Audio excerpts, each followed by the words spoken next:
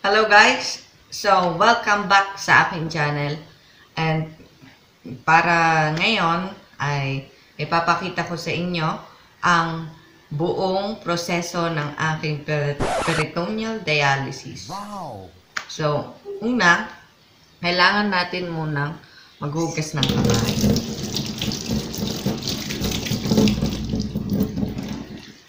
Kailangan hugasan mabuti ang kamay para matanggal ang mga nakakapit na dumi. So, sa ospital po may itinuro na pag tamang paghuhugas ng kamay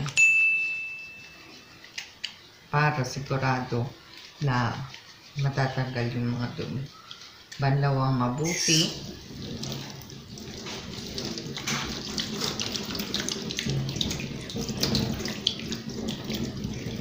Dapat yung walang tirang sabon.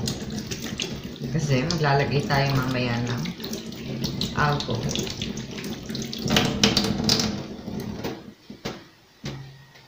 So, tuyuin ang kamay. At tara na sa kwarto.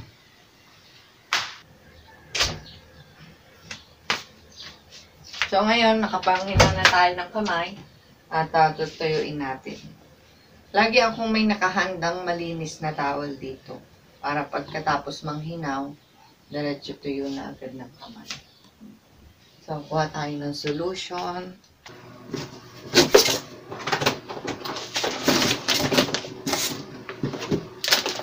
So, payo ng doktor sa akin ay bago magsimulang mag-dialysis, kailangan ay patay lahat ng uh, pinanggagalingan ng hangin. Katulad ng electric fan o kung may air, aircon man kayo sa bahay, dapat ito ay naka-turn off bago magsimula ng mag-dialysis.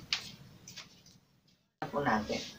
So, una sa lahat, kailangan ko munang mag-alcohol. Kanina, nang hinaw tayo para matanggal yung mga dumi sa kamay. Ngayon, mag-alcohol tayo para mas masigurado tayo na malinis ang ating kamay.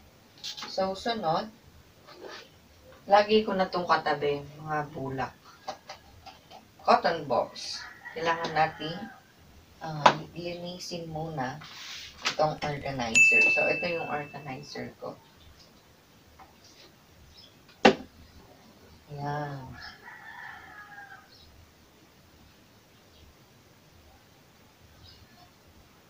So, dapat malinis talaga siyang mabuti bago mag-dialysis.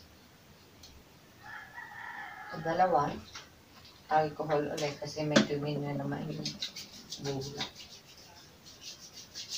Bago natin buksan yung solution, mag-mas muna tayo. Mas muna tayo.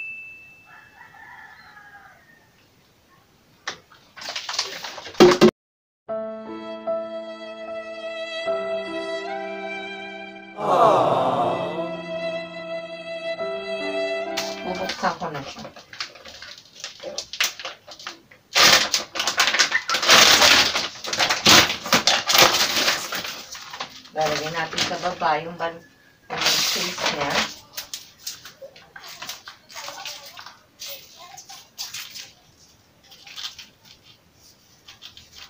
Then, ito, nalalagay natin dito.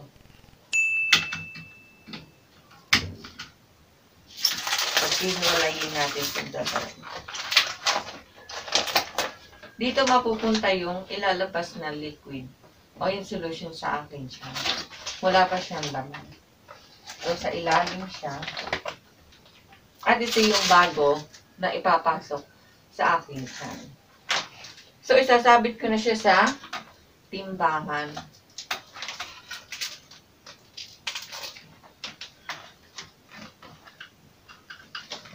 Ayusin ko lang.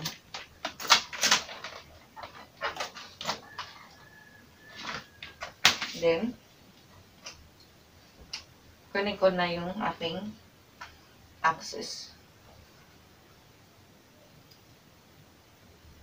So, ito yung aking host. Naka, ah, itong host na to is magsi 6 years na sa akin. So, buksan na natin.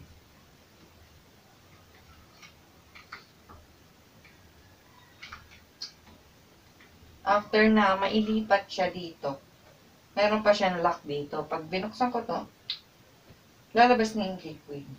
Kapag. So, mag-out na ako ng ah, aking solution. So, maghihintay lang tayo ng up to 5 minutes para mailabas ko lahat ng solution. Pagkatapos ko nitong ilagay, pwede na tayo magtanggal ng mask. Kasi sobrang init. So, bukod nga pala yung aking ah, face towel. Kasi sa pawis lang.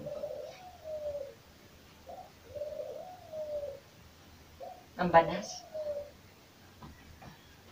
Bawal talaga kasi tayo mag-electric fan.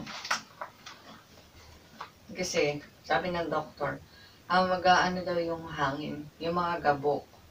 Baka mapasukan tong ating ah, dialysis. Baka ma-infect tayo.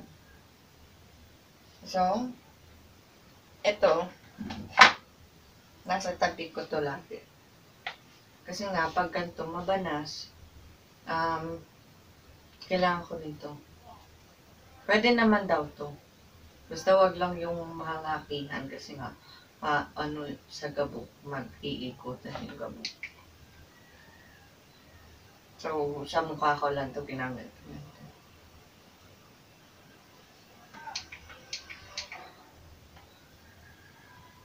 So, nag-aantay na tayo na matapos 5 minutes to. So, itong peritoneal dialysis ko, sabi ko nga po sa inyo, magsi 6 years na sa akin sa March. Ang pagkakalagay nito is March 15, 2015. Yun. So, itong solution na to is 2.2 liters. So, ang pinapasok lang sa akin, ang kaya lang ng tiyan ko, na ilagay sa tiyan ko is um, 1.8 liters. Ganun lang siya kadami. So, maghintay na tayo na matapos to.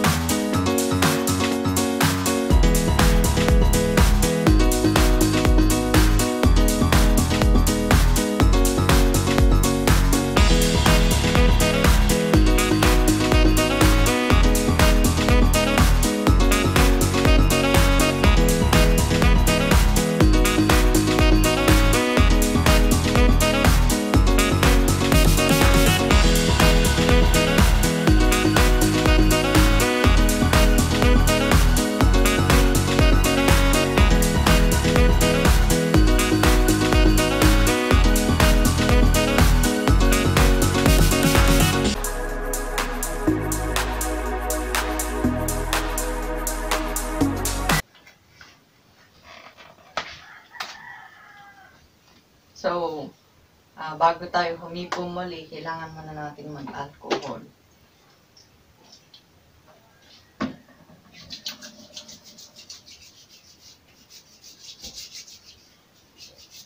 So, para ma-check ko kung um, ah, ubos na o nailabas ko na lahat ng solution, nagato ko siya. May lalo pa siyang bula. Dapat hindi siya gumag... Ganon-ganon lang siya. Dapat hindi siya Dire-diretso. So, tumigil na siya, tapos na. So, ang sunod, ilalak ko muli dito sa may hose ko. Ayun, nag-lock na. Ito, iikot natin siya pa dalawa. So, tawag dito flashing. Um, ito, babawasan na po siya pag naiikot ko. Magbabawas siya hanggang sa ma-reach ko yung 1.8. Kasi yun yun lang yung pinapasok sa tiyan ko. Kasi ito po, 2.2 liters. So, babawasan natin siya. Ang punta po nito, sasama na siya dun. Sana ilabas ko. So, pang dispose na siya. Ayan, 1.8. Pag 1.8 na, ikot mo ulit sa patatlo. Yung patatlo, meron ulit siyang tatlong bottom. Tatlong stages. Half na pasok, tapos full, full force. Yung talagang mabilisan. Bubuksan ko ulit siya. Pag nabuksan ko siya, na may bula po, dire-diretso na siya.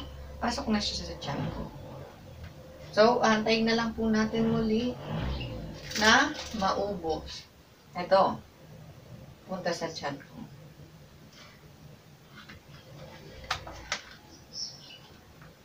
So, antay-antay na pumuli tayo. Higa ulit.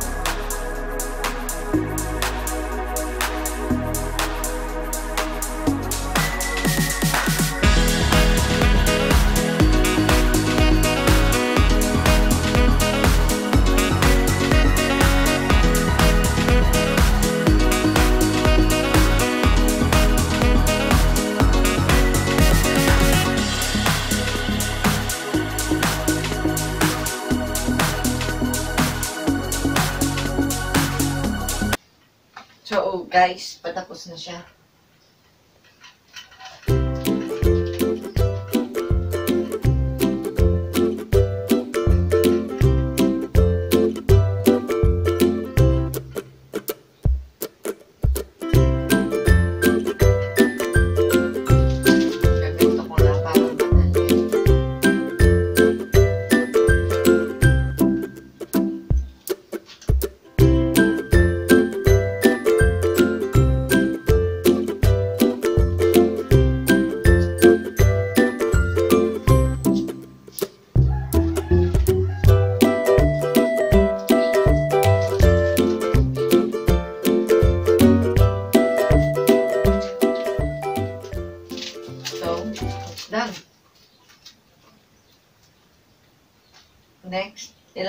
Siya natin dito sa hose.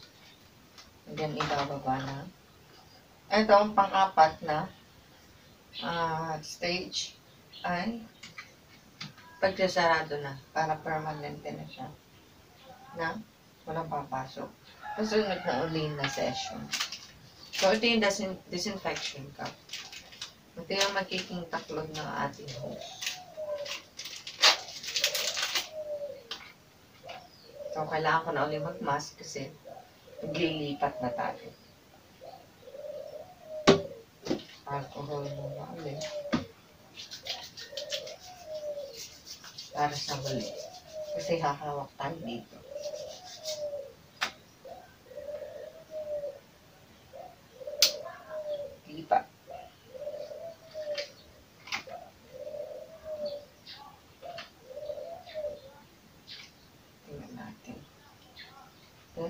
Then, nilalagay ko na ulit siya dito.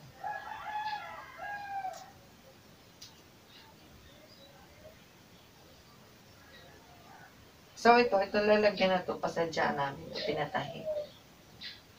Para hindi laging tape yung yung ano sa tiyan. Then, tatanggalin natin. For disposal na siya. Pati ito, itong used.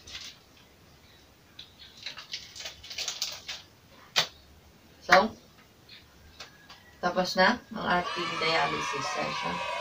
So, ayun. So, sana may natutunan kayo at um, nagustuhan ninyo ang video ito. Please like, share, comment, don't forget to subscribe kung bago kayo dito sa akin channel.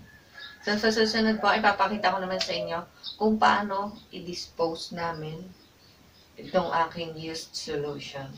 So, kita-kits sa my next video. Bye!